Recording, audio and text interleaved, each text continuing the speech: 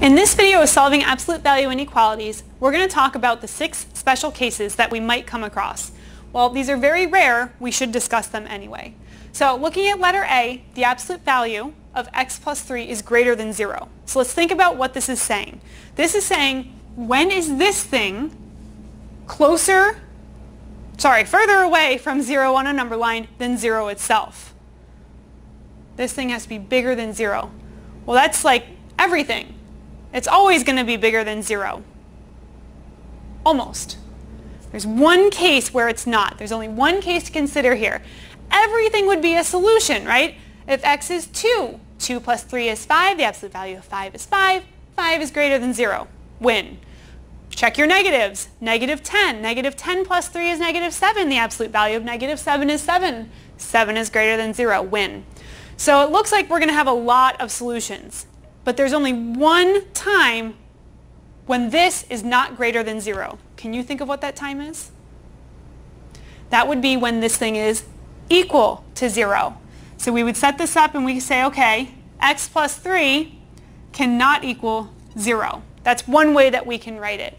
So that means that x cannot be negative 3. So x can be any number except negative 3.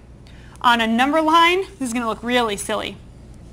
We're going to have negative 5, negative 4, negative 3, negative 2, negative 1, 0, and 1. How are we going to say that it can be anything except for negative 3? It's like we're like taking a number line and just plucking out that single point. Well, how do we represent when something's not part of the solution set? We use an open circle. So we're going to have an open circle over negative 3, but everything to the right of it is a solution, and everything to the left of it is a solution. So it would look like this. So here's the, basically the algebraic, here's the graphic, and then an interval notation again, it's like just going in the number line and just plucking out that one single number, but actually the interval notation gets a little bit, you know, it's, it's very long because of that. So we would say, okay, it's anything from negative infinity to negative 3, where we don't include negative 3, and then also everything bigger than negative 3, so negative 3 to infinity. Special case number two, when is the absolute value of something smaller than 0? What does it mean if something's smaller than 0? That means that it's negative. So when is something that's an absolute value negative? It's not. So we would say here, there is no solution. Right? It's impossible. You can't find any number. And so sometimes we're like, okay, well, let's try a negative, negative 4.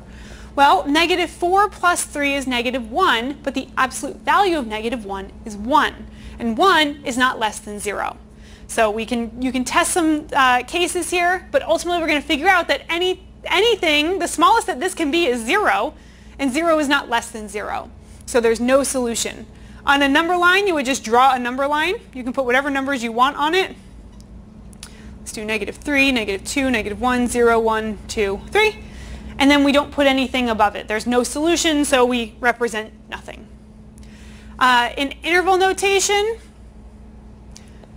you can either do uh, the braces with nothing inside, representing the, the fact that there's no solution, or you can do the null set. That's like a zero with a slash through it. So if we come across an absolute value being smaller than zero, that's a contradiction, right? That, that goes against the definition of what an absolute value is. There would be no solution. Case number three. Okay, here in this case, we want it to be greater than or equal to zero. So when is an absolute value greater than or equal to zero? Always. It is always greater than or equal to zero. The smallest an absolute value can be is zero, which is greater than or equal to itself. So while there is a little expression in there that we could solve, we don't need to because everything is going to have an absolute value that's greater than or equal to zero. So to represent this on a number line, well, to represent algebraically, we can just say uh, all real numbers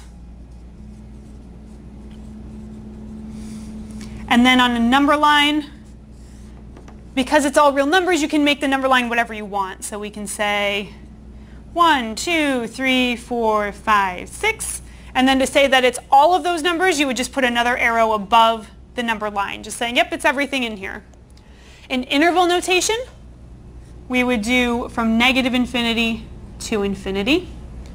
Uh, you can also, depending on uh, if your professor says this is okay, you can do the really fancy R, which just indicates all real numbers. So the fancy R has just like two horizontal, uh, sorry, vertical segments, that represents all real numbers. So these are the various ways that you can represent, okay, we have something where the absolute value has to be bigger than or equal to zero, which is everything. In letter D, okay, how about when the absolute value of something is less than or equal to zero? Well, we've already talked about what happens when things are less than zero. There is no absolute values that are smaller than zero. So in this case, we have one solution. There is one thing that could work so that uh, the absolute value is less than or equal to zero, and that's when the expression within the absolute value bars is equal to zero itself. So we could say 2x equals zero, divide both sides by two, and we get x is equal to zero. So when x equals zero, that is the only solution to this absolute value inequality. It's the only number whose absolute value is smaller than or equal to zero. On a number line, we would just put a dot over 0. And in interval notation, we would use the braces to represent just a finite uh, number of solutions. We put 0 inside, and we close the braces. Two more. We've looked at all the different possibilities when uh, the absolute value deals with 0. Now we're going to look at when it deals with negative numbers. So we have the absolute value isolated on the left-hand side. What happens uh, where, where are we going to find numbers that are bigger than negative 2 when we take the absolute value? The absolute value has to be bigger than negative 2. Well, absolute value is the, at the very smallest 0, which happens to be bigger than negative 2.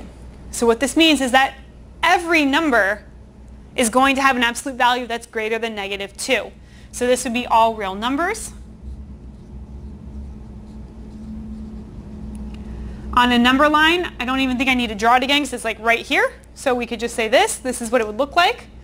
Every number, no matter what we plug in, if we plug in x equals 0, if we plug in x equals 100, x equals negative 5, all of those are going to have some absolute value that is at the very least 0. So that means that it would definitely be bigger than negative 2.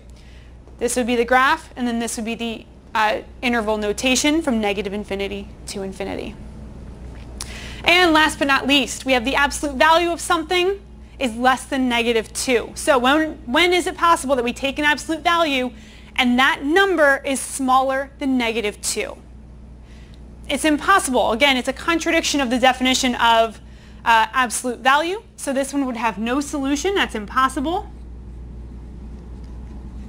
On a number line, we would just have an empty number line. So you can have your number line negative 6, doesn't really matter what numbers you put here since there's no nothing to represent. And then you would just leave it blank. In interval notation, again, you can either do the bra uh, braces with nothing inside, or you can do the null set.